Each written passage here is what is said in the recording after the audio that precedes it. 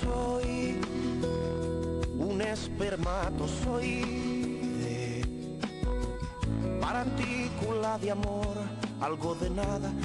entre millones, ínfimo grado de luz, como del sur nato emigrante. Soy mensajero queriendo también ser el mensaje, porque soy espermatozoide, altiva voluntad,